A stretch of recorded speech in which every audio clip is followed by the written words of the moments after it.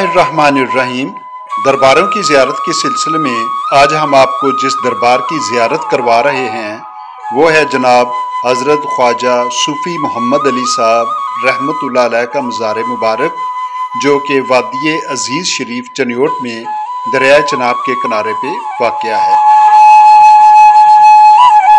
چنیوٹ کا شمار دنیا کے قدیم ترین شہروں میں کیا جاتا ہے، ایک تاریخی حوالے کے مطابق تین سو پانچ سال قبل مسیح چندر گپت موریہ کے ایک ایڈوائزر چانکیا نے اپنی کتاب ارتھ شاستر میں چنیوٹ کو اپنا نیٹو ٹاؤن قرار دیا تھا۔ چنیوٹ فیصل آباد سے شمال کی جانب تقریباً اڑتیس کلومیٹر کے فاصلے پہ واقع ہے اور ہم فیصل آباد سے ہوتے ہوئے چنیوٹ کی طرف جا رہے ہیں۔ باقی پنجاب کی طرح چنیوٹ بھی اٹھارہ سو انچاس میں باقاعدہ طور پر برٹش رول میں شامل ہوا تھا۔ اور اس کی میونسپیلٹی کو اٹھارہ سو باسٹھ میں کانسٹیٹیوٹ کیا گیا تھا۔ اٹھارہ سو پچہتر میں چنیوٹ کی آبادی تقریباً بارہ ہزار نفوس پہ مشتمل تھی اور دو ہزار سترہ میں اس کی آبادی تقریباً دو لاکھ اٹھتر ہزار افراد تک پہنچ چکی تھی۔ یہاں پہ ایک ریلوے اسٹیشن بھی ہے جو کہ انیس سو ستائیس میں انگریز دور میں تعمیر کیا گیا تھا۔ اس کے علاوہ یہاں پہ کافی تعداد میں دیگر تاریخی بلڈنگز اور مقامات موجود ہیں۔ ہم سیدھا سرگودا جانے والی روڈ پہ چنیوٹ شہر سے گزرتے ہوئے آگے کی جانب جا رہے ہیں۔ یہ چنیوٹ شہر کا مشہور ختم نبوت چوک ہے۔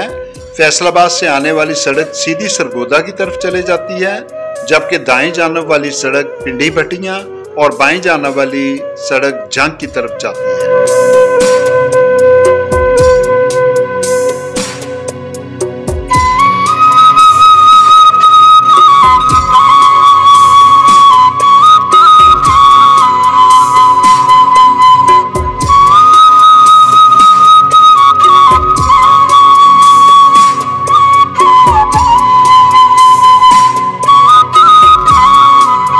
دائیں جانب اور سامنے کی طرف چھوٹے چھوٹے سے سنگلاخ اور نوکدار پہاڑ شروع ہو گئے ہیں، جو کہ کرانہ پہاڑی سلسلہ ہی سے تعلق رکھتے ہیں۔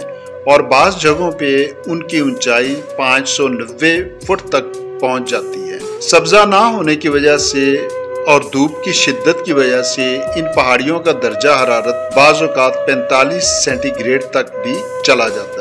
اب ہمیں دوری سے ایک مسجد کے خوبصورت مینار اور گنبد نظر آ رہے ہیں اور یہی ہماری منزل مقصود ہے۔ اسی کو وادی عزیز شریف کہتے ہیں۔ اور یہاں یہ دربار دریائے چناب کے مشرقی کنارے پہ واقع ہے۔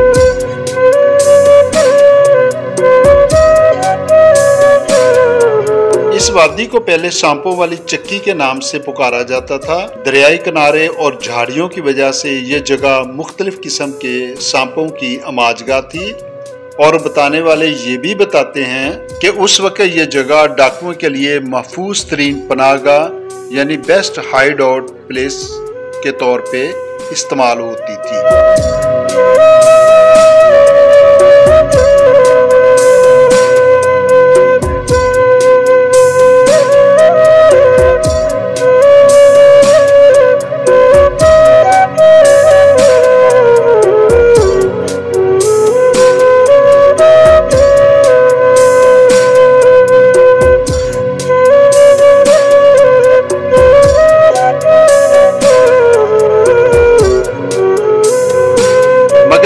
انیس سو پچپن میں اس علاقے کی قسمت نے پلٹا کھایا اور حضرت خواجہ محمد علی صاحب رحمت اللہ علیہ تن تنہا اس وادی میں اپنے مرشد صاحب کے کہنے کے مطابق تشریف لائے اور لوگوں کو اللہ کے دین کی طرف راغب کیا اور جماعت احمدیہ کے بڑھتے ہوئے ناپاک قدموں کو دیگر علماء اکرام اور مشاع اعظام کے ساتھ مل کر نہ صرف روکا بلکہ انہیں پسپائی پہ بھی مجبور کر دیا۔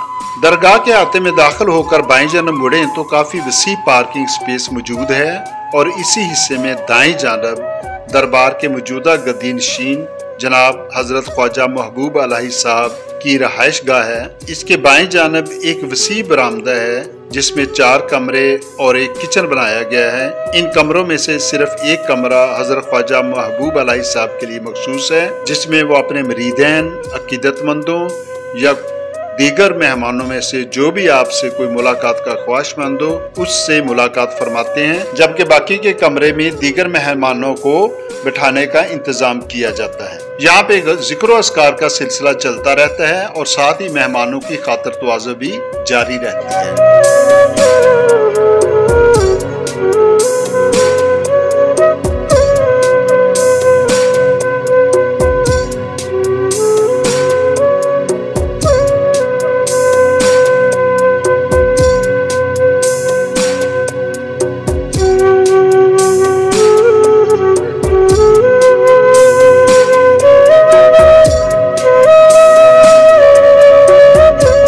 علاوہ جناب خواجہ محبوب علیہ صاحب کی رہائش گاہ والی سائڈ پہ فیملیز کو ٹھہرانے کے لیے پانچ عدد کمرے بما واش روم بنائے گئے ہیں، جبکہ دیگر زائرین کے ٹھہرنے کے لیے نو عدد کمرے ود اٹیچڈ بات الگ سے تعمیر کیے گئے ہیں۔ اسی کے ساتھ ہی ایک لنگر خانہ ہے، جہاں پہ لنگر کی تیاری کی جاتی ہے۔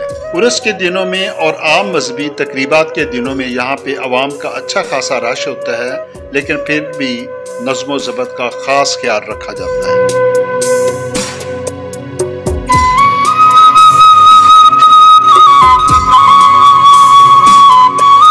پانی کی سپلائی کے لیے یہاں ایک بڑی سی ٹینکی تعمیر کی گئی ہے، جس سے درگاہ کے اندر تمام جگہوں کے لیے پانی کی فراہمی کے نظام کو یقینی بنایا گیا ہے۔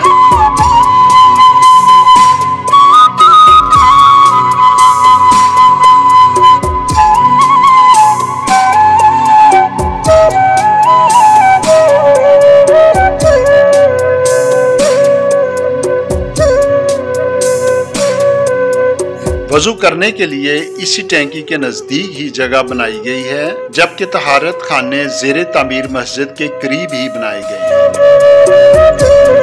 آئیے اب ہم آپ کو حضرت خواجہ محمد علی صاحب رحمۃ اللہ علیہ کے مزار مبارک کی زیارت کرواتے ہیں۔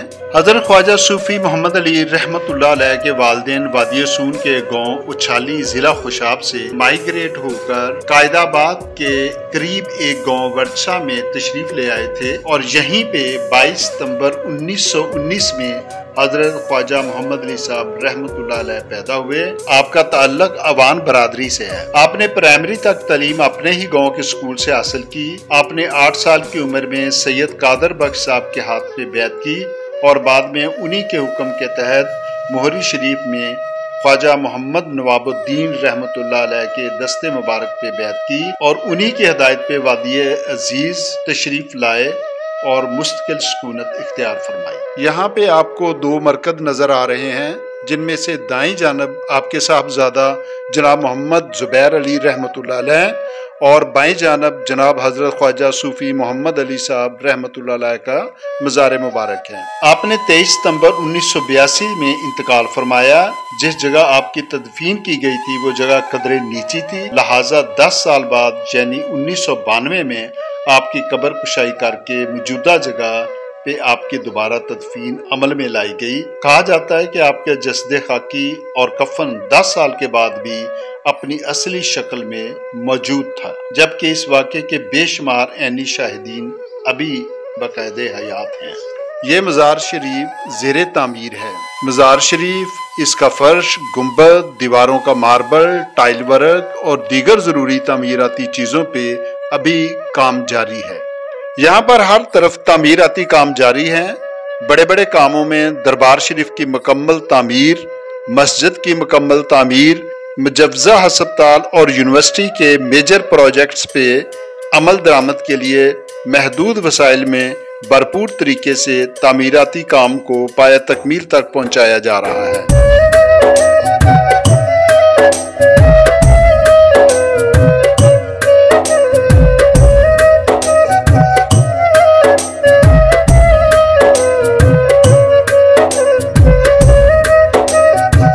کے مزار شریف کے ساتھ ہی ایک اور بلڈنگ ہے جو کہ تعمیر ہو چکی ہے۔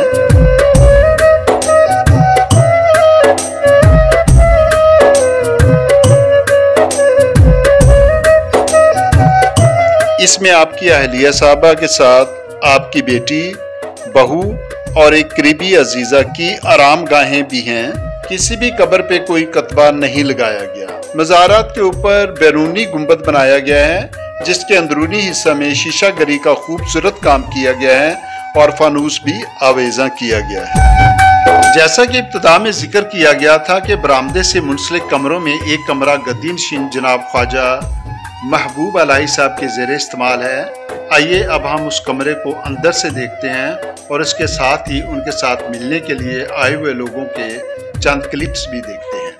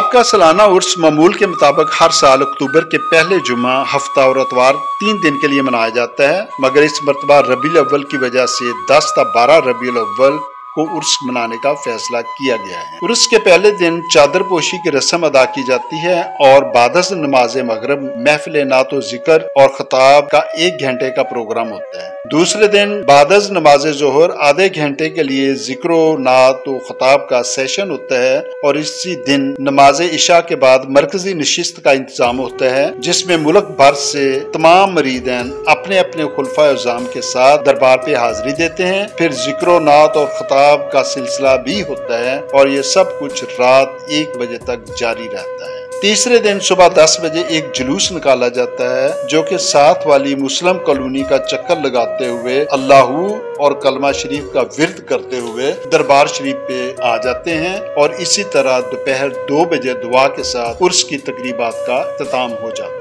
جیسا کہ بتایا گیا ہے کہ اس مرتبہ ربیع الاول کی وجہ سے عرس کے شیڈول میں تبدیلی کی گئی ہے۔ لہٰذا اس مرتبہ اسپیشل طور پہ ایک سو تریسٹھ من دودھ کی سبیل لگائی جائے گی، کیک بنایا جائے گا۔ سو بکروں کے گوشت سے مہمانوں اور دیگر شرکا کی توازو کی جائے گی اور اس مرتبہ میٹھے میں ایک سو بارہ من مکھنڈی حلوہ بھی تیار کیا جائے گا۔ اور یہ لنگر فیس بیل اللہ تمام حاضرین اور شرکا میں تقسیم کیا جائے گا۔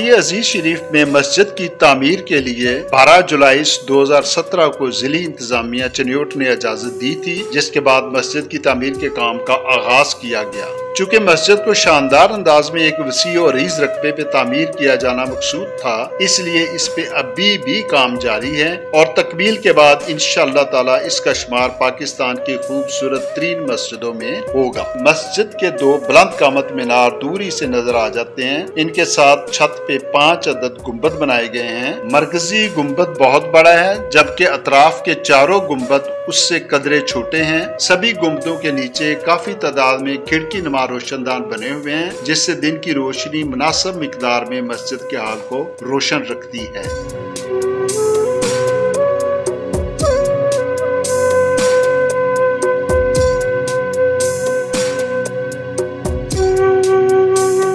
اسی طرح مسجد کا سین کافی وسیع ہے۔ دونوں جانب طویل اور کشادہ برامدے بنائے گئے ہیں۔ خوبصورتی کے لیے ان کے اوپر بھی گبت بنائے گئے ہیں۔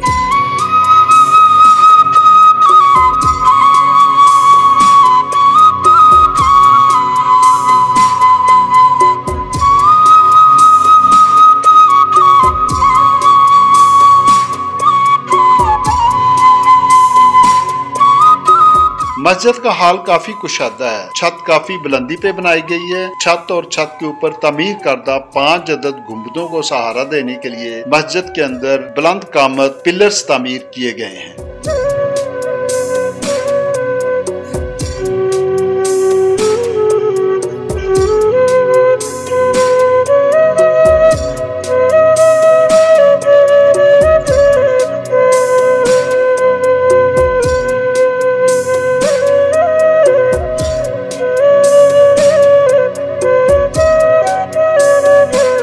خوبصورت محراب بنائی گئی ہے۔ اس کے اوپر ٹائلز میں نیلی بیک گراؤنڈ میں سفید حروف میں کلمہ طیبہ تحریر کیا گیا ہے۔ جبکہ اسی انداز میں کلمہ شریف سے پہلے یا ہے اور کلمہ شریف کے بعد اللہ اور یا کو یوم بھی لکھا گیا ہے۔ جبکہ ان کے نیچے دائیں جانب اللہ تعالیٰ اور بائیں جانب حضرت محمد صلی اللہ علیہ وآلہ وسلم کے صفاتی اسماء مبارک والی ٹائلز گانے کا کام جاری ہے۔ تکمیل کے بعد مسجد کی خوبصورتی میں یہ ایک بہت گراں قدر اضافہ ہوگا۔ اسی محراب نما انداز میں مسجد کے حال کے سامنے اور دونوں سائڈوں پہ دیواروں میں بڑی بڑی کھڑکیاں بنائی گئی ہیں، جس سے کافی تعداد میں ہوا اور روشنی مسجد میں میسر آتی ہے۔ اس وقت یہاں ایک مدرسہ جامعت المسوم کے نام سے چل رہا ہے، جس میں تقریباً ستر کے قریب طالب علم دینی و دنیاوی تعلیم حاصل کر رہے ہیں۔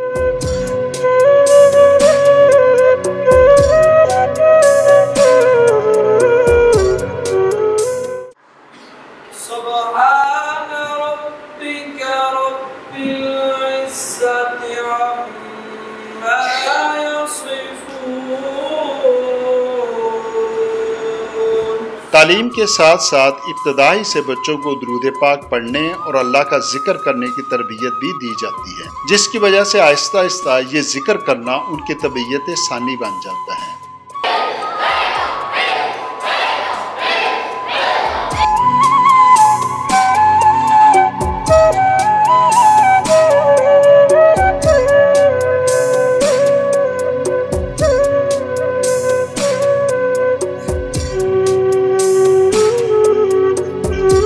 ان طالب علموں اور اساتذہ کو عام مدرسوں کے برعکس جدید اسکولوں جیسا ماحول دیا گیا ہے۔ زمین پہ بٹھا کر پڑھانے کے بجائے طالب علموں کو کرسیوں پہ بٹھایا جاتا ہے۔ دائیں جانب کتابیں اور پیپرز رکھنے کے لیے جگہ بھی دی گئی ہے۔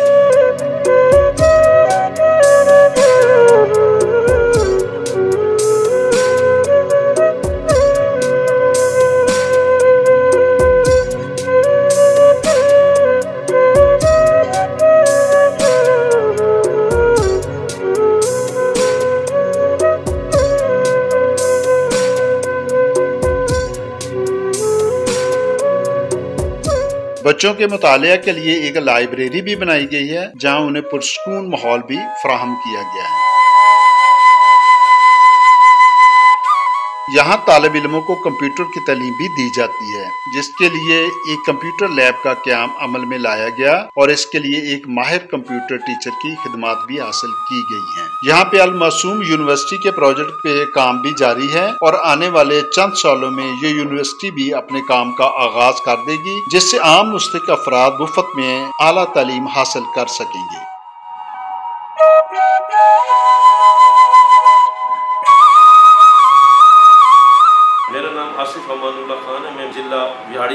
اور میں بیسیکلی میں نے سی اے کیا ہوا ہے اور میں یہاں ٹیچر بھی ہوں اور مینجمنٹ بھی کرتا ہوں۔ میرا نام سید سجاد علی شاہ ہے۔ میرا تعلق ضلع منڈی بہاؤدین کے شہر ملک وال سے ہے۔ اور یہاں اس ادارہ اعضا جامعۃ المعصوم دربار علی آبادی شریف میں میرسا دو سال سے زیر تعلیم۔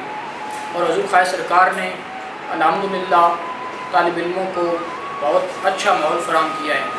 یہاں پر مڈل پاس کر کے طالب علم آتے ہیں اور ساتھ ساتھ دنیاوی اور دینی دونوں تعلیموں سے راستہ ہوتے ہیں۔ جامعۃ المعصوم میں ایز اے مدرس ادھر ڈیوٹی سر انجام دے رہا ہوں۔ میرا نام محمد پرویز ہے میری تعلیم ایم ایس سی فزکس ہے اور میں یہاں اوپن یونیورسٹی کا سلیبس پڑھا رہا ہوں۔ میرا نام محمد سکلین مشتاق ہے۔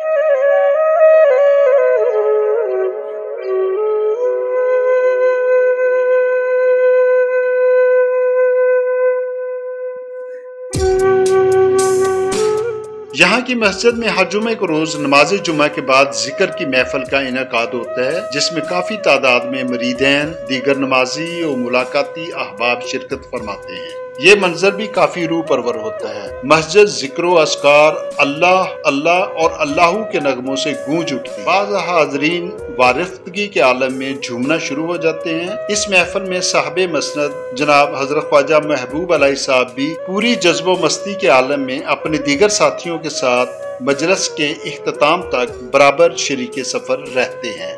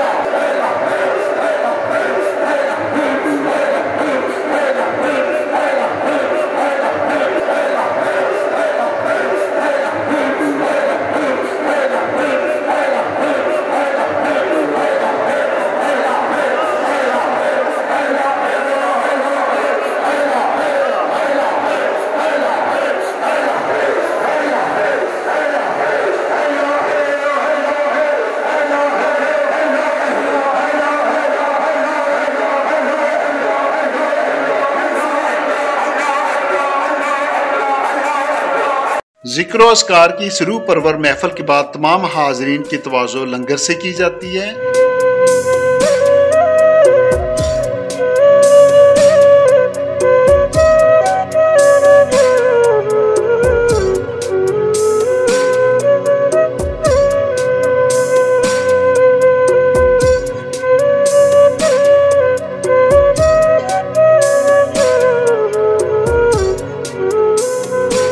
اس لنگر میں حلیم۔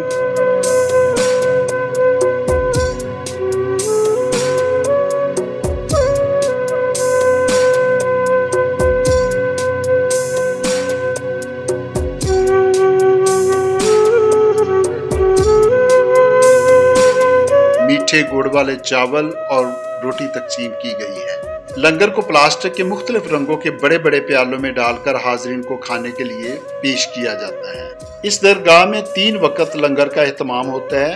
ناشتے میں روٹی، پراٹھا، چنے، انڈے اور چائے دی جاتی ہے، جبکہ دوپہر اور رات کے کھانے میں مٹن یا بیف یا چکن پیش کیا جاتا ہے۔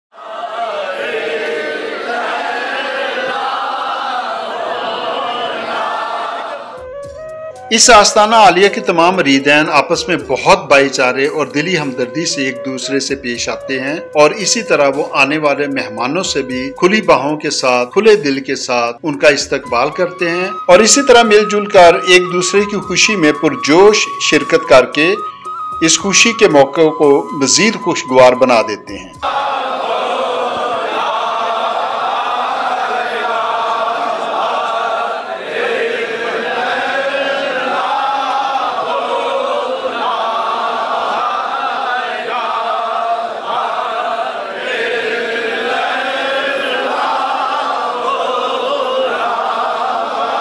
یہاں پہ آستانہ عالیہ کے ایک انتہائی مخلص اور درینہ ساتھی اور خواجہ صاحب کے قریبی معتمد خاص جناب حافظ علی اکبر محبوبی صاحب کو اللہ تعالیٰ نے نرینہ اولاد عطا فرمائی۔ تو اس خوشی میں انہوں نے اپنے آستانہ کے دیگر ساتھیوں کے ساتھ بھرپور طریقے سے ذکر خدا کرتے ہوئے اپنے مرشد جناب خواجہ محبوب علیہ صاحب کو بھی اس خوشی میں شامل کر کے اسے ایک یادگار تقریب بنا دیا۔ Hallelujah.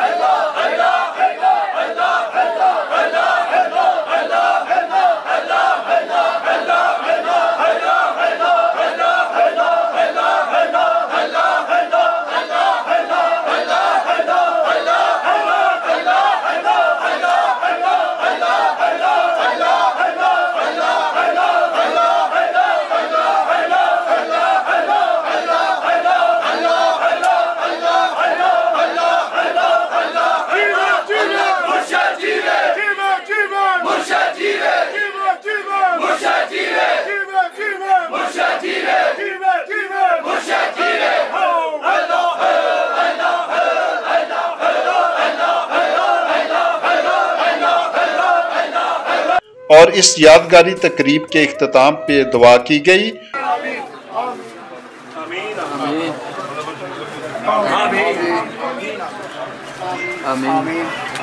اور سب دوستوں، ساتھیوں اور حاضرین میں مٹھائی تقسیم کی گئی۔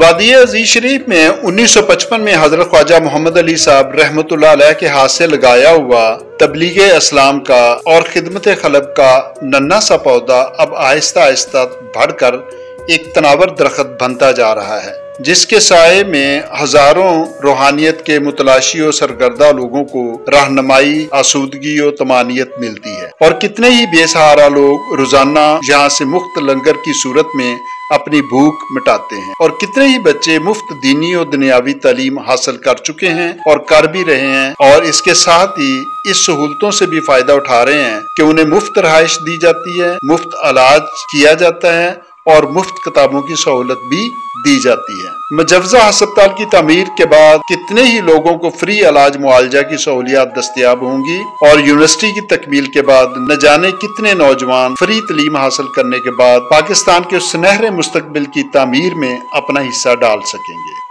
ان تمام معاملات کو موجودہ سجادہ نشین جناب حضرت خواجہ محبوب علیہ صاحب اپنی تمام تر مصروفیات کے باوجود لمحہ بلمحہ اپنے عقیدت مندوں کے ساتھ مل کر اسے پایا تکمیل تک پہنچانے میں مکمل کوشاں ہیں۔ اللہ تعالیٰ ان سب کی کاوشوں میں انہیں کامیابی عطا فرمائے۔ آمین۔ اس ڈاکومنٹری کو دیکھنے کے لیے ہم آپ کا شکریہ ادا کرتے ہیں۔